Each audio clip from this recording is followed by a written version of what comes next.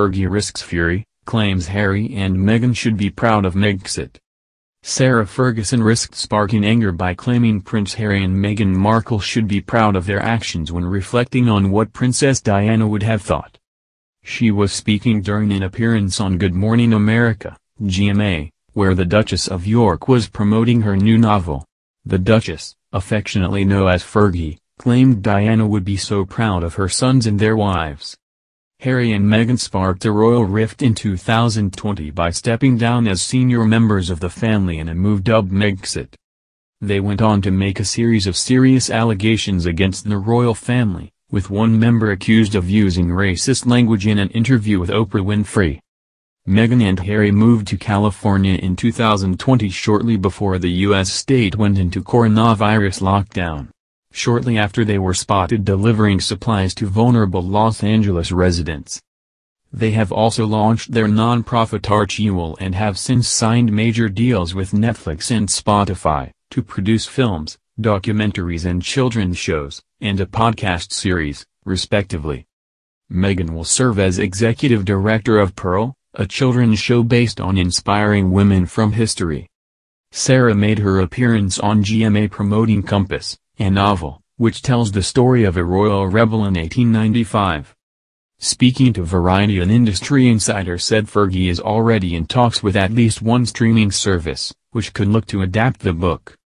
Separately a new animation series of Prince George has sparked fury over fears it is opening the Cambridges up to bullying. U.S. show, The Prince, imagines the life of the royal family through the satirical eyes of the son of Prince William and Kate the Duchess of Cambridge. However, the show has already sparked outrage as Prince George's only aged eight. A Twitter user wrote, Personally I think that they could have still done a, a TV show based on a royal family and loosely based characters on various members but the fact George, Charlotte and Louis are real underage children it doesn't sit right. Adults are fair game but the kids is too far. I watched the trailer and didn't think too much on it but in reflection it will really open up the Cambridge children to bullying. If they were grown-up slash adults and then this was released it wouldn't be so bad. 5.30 am update, William and Kate sneak into West End performances and pubs on romantic date nights. Kate, the Duchess of Cambridge, and Prince William are surprisingly normal and love going to the pub, and eating homemade bolognese in front of the TV according to a royal expert. Details of the couple's date nights were shared by Duncan Larcombe, who has been covering the royal family for more than a decade. Speaking to OK, he claimed William and Kate are able to sneak into events unrecognized when off-duty. Mr. Larcombe said, they like to go to the West End and they usually manage to sneak in without any fuss. They keep a low profile and do normal things without anyone noticing, just like Princess Diana did. 4.30 am update, Prince Harry's voice rarely heard between royal walls, may have been triggered. Prince Harry's voice and opinions were rarely heard in the royal family, and this may have triggered his outspoken behavior, a friend of Eugenie and Beatrice claims. The princesses, Harry's cousins, are described as sympathetic to recent remarks the Duke has made in interviews, despite perceptions they have stirred controversy. The pal said, they believe Harry's outspoken remarks may have been triggered because previously his voice and opinions were rarely heard within the royal family. The source claims Harry was seen as the resident joker in the royal family, making eyes roll when he shared an opinion on serious topics. 3.30 am update, Kate and Prince William nervous about internet trolls targeting Prince George. Kate, the Duchess of Cambridge, and Prince William are said to be nervous for Prince George's future. The Duke and Duchess of Cambridge's firstborn son turns 8 years old on July 22, and is third in the line of succession. But a royal source has said William and Kate are afraid of overexposing George in case he gets harassed online. A source claimed Kate and William are concerned that George will be subject to new pressures they did not have. 2.15 am update when will Lilibet Diana meet the Queen?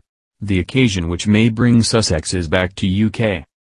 Lilibet Diana was born nearly two months ago but has not yet met members of the royal family. So when will Lilibet meet the Queen? Lilibet Diana is Meghan Markle and Prince Harry's second child and was born on June 4, 2021. Her birth was announced by Meghan and Harry, with the touching meaning behind her name, honoring two important figures in Harry's life, his mother and grandmother. Despite the touching tribute to the Queen, whose childhood name was Lilibet, she has not yet met her great-granddaughter and has not seen her great-grandson for a long time. 1.45 a.m. Update, Prince Charles' tense fallout with Prince Andrew in royal clash, pay for it yourself. Prince Charles had a tense fallout with Prince Andrew as he urged his brother to pay for luxuries himself. A royal commentator has claimed this week Prince Charles will act more quickly to take on a new approach in dealing with the fallout of Prince Andrew's relationship with sex offender Jeffrey Epstein. Andrew has been placed in the background since his disastrous interview with BBC Newsnight in 2019, and royally U.S. host Molly Mulshine summed up the royal family's handling of the issue this week. She said, how is it possible that we can't hold this person accountable when we kind of know what the deal is? 12.15 am update, Jeremy Clarkson claimed Queen had right to tell Prince Harry to get lost, not royal. Jeremy Clarkson said the Queen had the right to tell Prince Harry to get lost in a furious outburst over laying wreaths at a Remembrance Sunday event. Prince Harry and Meghan Markle have found themselves in a fresh royal row as the Duke prepares to publish his memoirs. Sources within the royal household have told of fear amongst close family members of Harry, with Prince Charles and Prince William reportedly shaken by the news. But one royal figure has stepped to their defense today, Sarah Ferguson. 11.30 p.m. Update, Kate and William's heartwarming wish for George, don't want him to grow up too quickly. Kate, Duchess of Cambridge, and Prince William have one heartwarming desire for their firstborn Prince George, according to a source.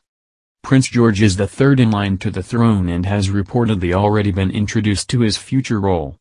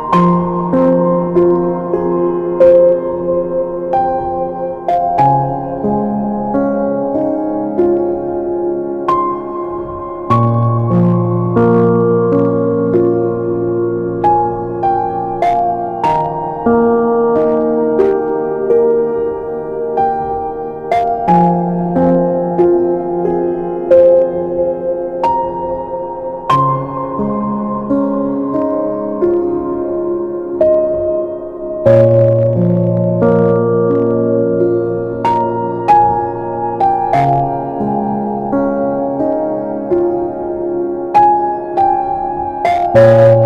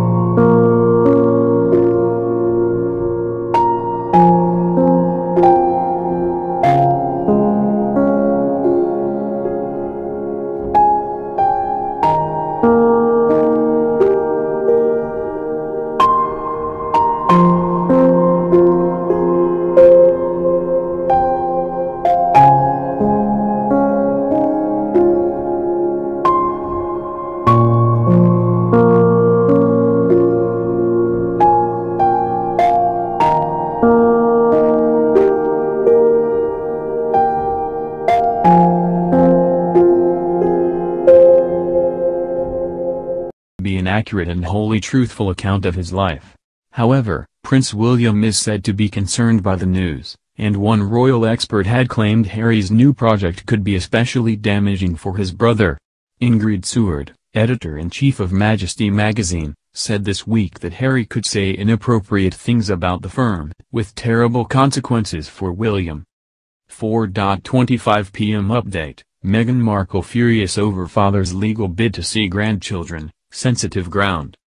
Meghan Markle will be furious if her estranged father publicly humiliates her by taking her to court for the right to see his grandchildren Archie and Lilibet, a relationship expert has claimed. The Duke and Duchess of Sussex will likely respond aggressively to a threat from Thomas Markle to head down the legal route.